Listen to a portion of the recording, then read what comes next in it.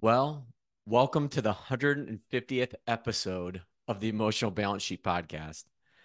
It's hard to believe that I started this uh, journey, if you will, almost four years ago. I believe it was a, the first show uh, with Scott Capeller, launched the first week of October of 2020. Um, and if you can recall back in those days, COVID was still a, a raging uh, crisis at the time. Uh, it has been an absolute pr- pleasure to to do the show. Um, a lot of ups and downs. A lot of times, I'm I was thinking, is this going to make it?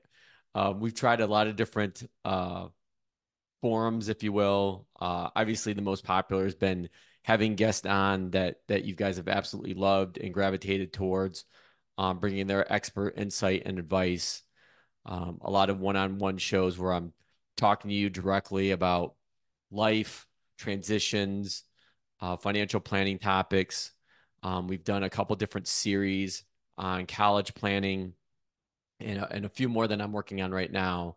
Um, so we've tried to mix it up a little bit and and really try to listen to you, the audience. And that's what's really kept me going for nearly four years now and reaching this milestone of 150 episodes is the feedback that I get from all of you. Um, I was just at, I actually had three graduation parties this past weekend, and the talk was often about the podcast and the sh- and and the topics we talk about. And so, what I wanted to do as part of this special 150th episode is just to highlight some of the more um, meaningful conversations I've had with people, and uh, not to discredit any, any any of my guests I've had on, they've all been great. Um, but there's a handful that have been pretty special to me. These are um, some people I know and become friends with, and that's the really cool thing about this show is me reaching out to complete strangers uh, and forming relationships that uh, you know now I consider to be friendships. So uh, without further ado, I'd lead off with the first one, Brian Portnoy, um, and our talk about funded t- funded contentment and this idea of being okay. Am I going to be okay? And Brian wrote the book, uh, The Geometry of Wealth. Um, he has become a dear friend of mine um, over the last three or four years that I've gotten to know Brian, uh, both on a personal and professional uh, basis.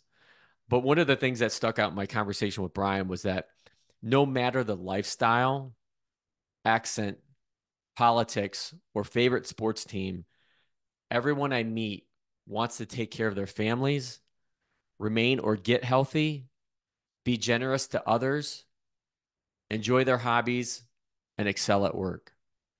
I think that's what's the centerpiece of Brian's uh, thought or or thesis on funded contentment and it comes down to the biggest question of all am, am i going to be okay?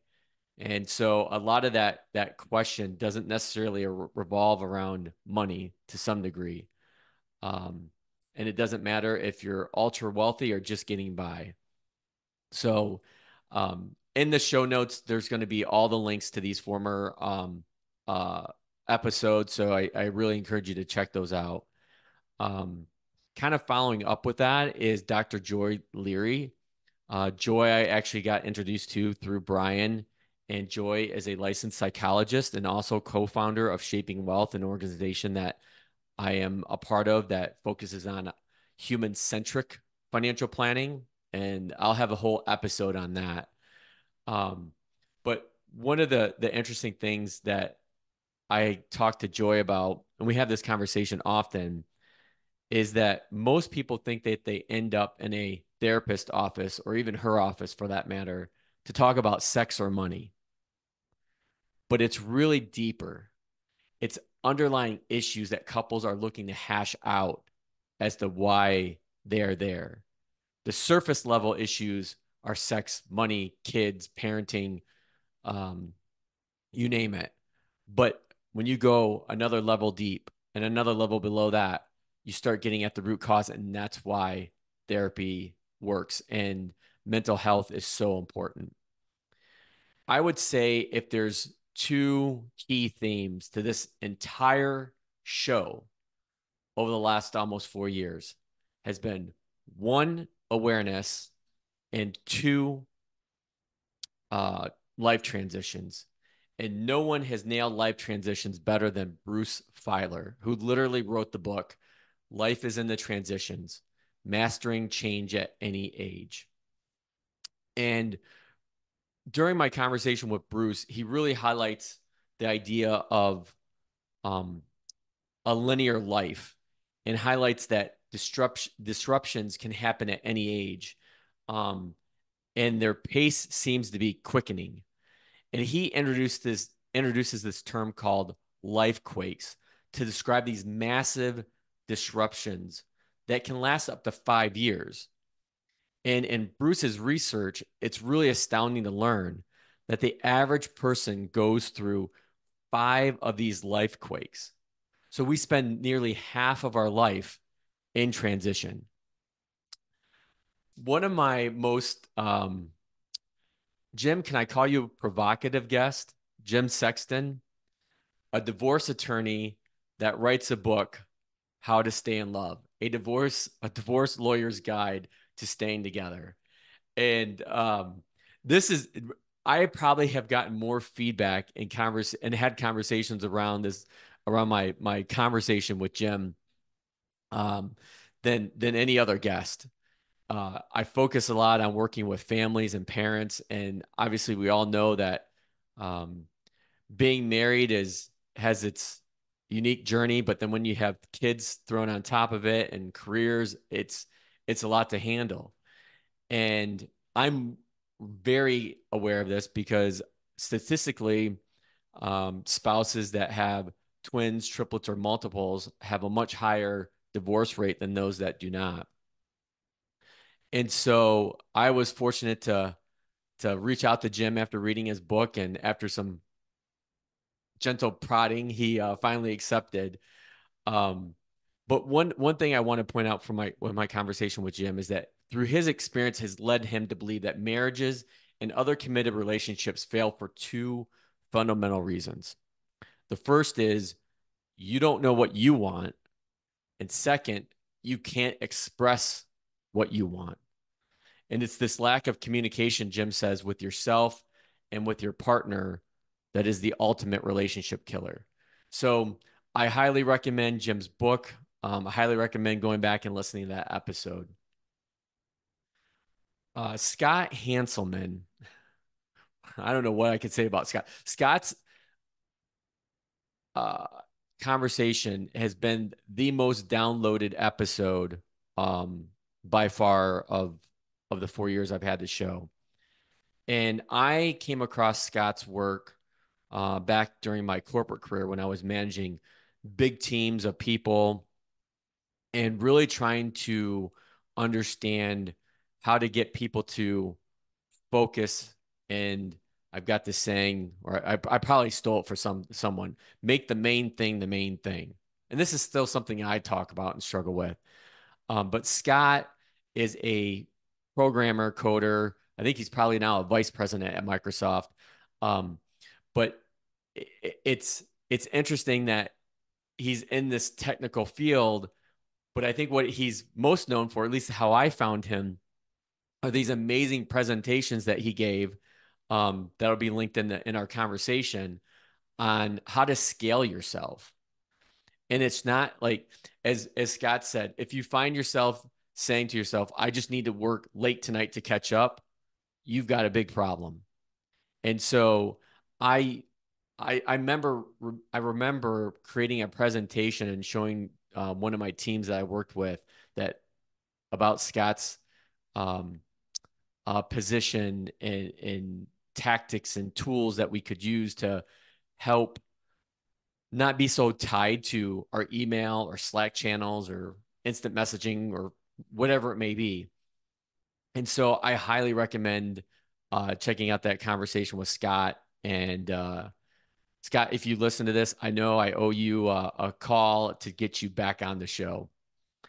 Um, one of my favorite writers, who I was actually actually shocked that I, I was able to get on, Dan Pink, who has written multiple multiple uh, New York Best Time sellers.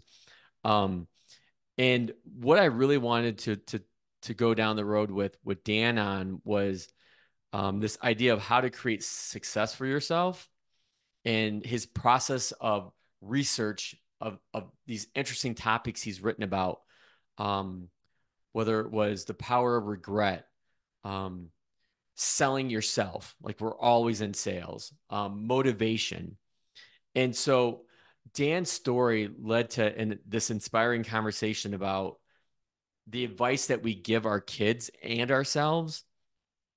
And unfortunately, and I'm going to read this from from one of my my notes from uh, our conversation. I said, unfortunately, when we give our kids advice or try to find our own way, asking what your passion is is not the right question we should be asking. Instead, a better question is, what do you like to do? And more important, what are you good at? And that to me was very insightful and something I've carried forward for many, many years. And often when I'm talking to younger people about college and what they should be doing with their careers, I kind of I I don't kind of I point them directly in this direction that I think that the Steve Jobs famous Stanford commencement speech about follow your passion, I think is wrong. I think it misses the mark.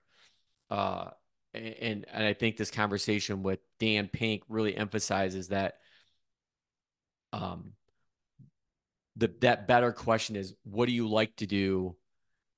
Are you good at it? And will somebody pay you for it? So um kind of along the same lines is is um my conversation with Brian Portnoy about funded contentment and enough. Um, I had a similar conversation with Carl Richards Carl was the sketch guy for 10 years. Uh, had a column at the New York Times. And it's amazing how Carl can take a complicated idea, whether it's about money or life. Carl's got a, I think, four kids um, as well, all different ages. Actually, kind of older now. Um, and he has an he has a great podcast called 50 Fires, where he his idea is like literally to sit around a fire and talk. Talk about life talk about money the intersections parenting relationships um you name it. And so we we talk about this idea of of enough. And you know one thing that that Carl pointed out during our conversation was that if security exists at all it's a feeling and not a number so the good news from Carl's standpoint, and this is something he and I have talked about uh, over the years, is that this means that it's something that we can have control over. Um, the bad news is it means it's up to us to learn how. Um, one of my uh, one of one of my my favorite people I've gotten to know over the years uh, is Josh Brown, and Josh is a wildly successful um, CEO of a registered investment advisor firm uh, in New York City, and they do a ton of uh, media. They have their own podcast, The Compound and Friends. And I think what's what's interesting about Josh is how my two girls, Madison and Mac, think that he is super cool. Because typically uh, on weekends, I would be driving the girls to their swim meets, and we would be listening to uh, Josh Brown and Mike Batnick on on their show. And for whatever reason, they've kind of gravitated to that. It's like the one podcast to listen to, and I have to wait until the weekend happens to to listen to it while we're driving to these swim meets. And so um, they've uh, they've got to know Josh on a very superficial level. But I was lucky to have Josh on, and we talked about a lot of different things. But the one thing that really stood out to me and Josh is going through this life transition right now with with his oldest that will be going off to college here soon is um this insight on parenting and how much closer the final finalities can be for parents when they least expect it. And he wrote a really good article a few weeks ago about how his daughter was going to prom and and the backdrop, you know, his son uh, was in the picture, and I think his son's going to be a freshman um, in high school. And he just talked about how fast things go as parents. We we all tell ourselves that. Um, that that was a key theme of of three graduation parties this past weekend. Um, but it's those final moments that you don't realize they're final until some time has passed. So um, a great, great conversation. Um, Cullen Roche is a economist and advisor as well, and he is an incredibly gifted writer. And I am I consider myself very lucky to have formed a relationship with Cullen Cullen um, over the last several years. And I I think that the title of our conversation was the most important financial question to ask. And again, with my with my conversation with Cullen, it's really not about the numbers or the money. It's about figuring out uh, enough. And that was the most important conversation was with him was again trying to define, you know, enough. And as Cullen put it, simply he he put in perspective of we have our definition of, of enough, which would look would it look wildly different than it currently does today. And so uh, again, another great conversation. Um, two UCLA uh, professors that I had on fairly close together, uh, Hal Hershfield and Casey Holmes, uh, were absolutely terrific. Um, Hal is a part of the Shaping Wealth group as well, and he had to really twist uh, uh, Casey's Cassie's arm uh, to get on the show. But Cassie had come out with this book, um, Happier Hour, which was really interesting to me because as busy parents, we're all focused on, um, you know, maximizing time, maximizing efficiency, and what Cassie learned through her research was that during the day, during specific times, there's things that we do really well and don't do well. And so reading Cassie's book was eye opening because you you kind of find out like when's the best time to work on certain things. And so I really encourage you to read her book Happy Hour, Happier Hour.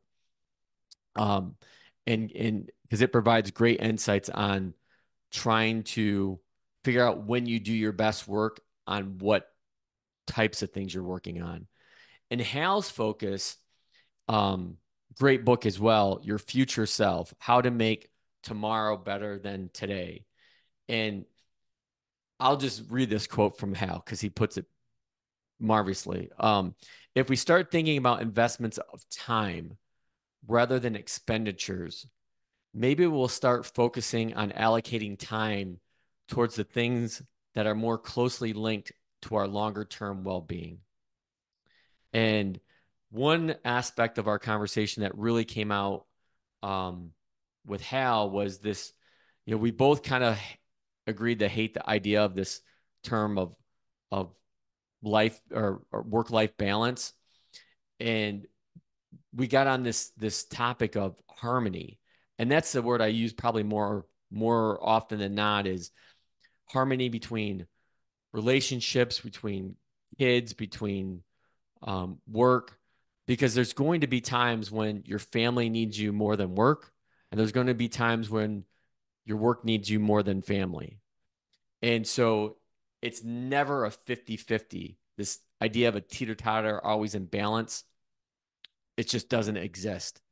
So, how can you focus on work when you need to be at work and how can you focus on your family when you need to be, be focused on your family and speaking of which uh, laura vanderkam who i've had on the show multiple times is a really terrific writer um, talks a lot about um, productivity time management and she her most recent book um, tranquility by tuesday she lays out nine ways for us to calm the chaos and make time for what really matters.